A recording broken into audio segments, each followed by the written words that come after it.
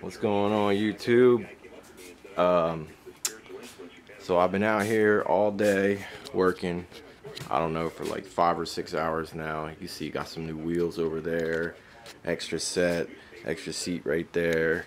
The freaking bench is trashed. The whole garage is trashed. Um, but I ended up getting a new car. Um, I've been trying to sort of keep it under wraps because number one, I didn't know, I wasn't sure if it was actually going to happen. And uh, number two, uh, I wanted to make sure it was sort of up to my standards of cleanliness before I actually started uh, humbly bragging about it. But uh, yeah, it's a car that I've wanted forever, and I'm so stoked that I got it.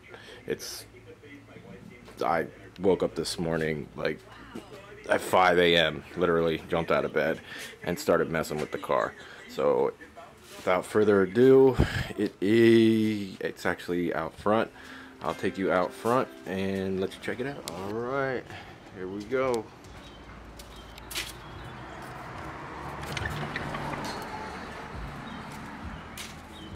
There she is, 86 325E. Wanted an E30 forever, man, as long as I can remember. Totally in love with it needs a little few things here and there, but I couldn't ask for a cleaner car for what I traded for and how the whole thing went down.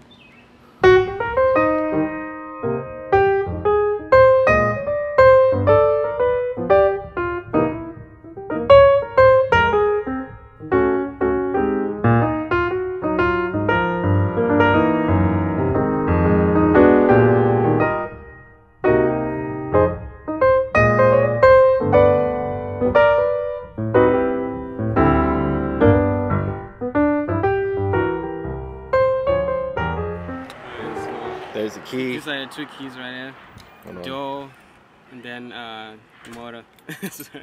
Cool. Yeah. Yep. That's the new owner right there. About to say goodbye to this bitch.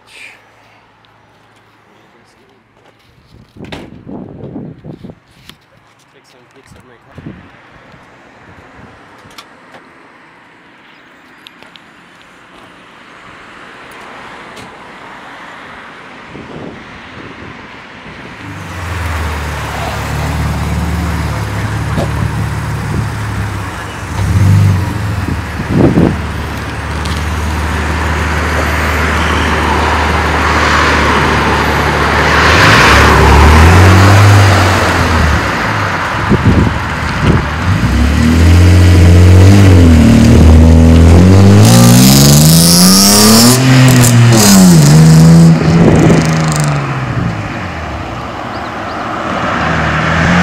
Goes.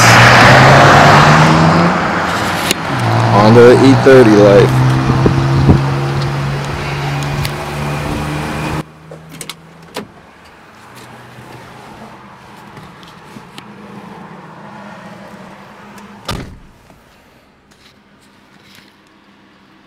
Let the journey begin.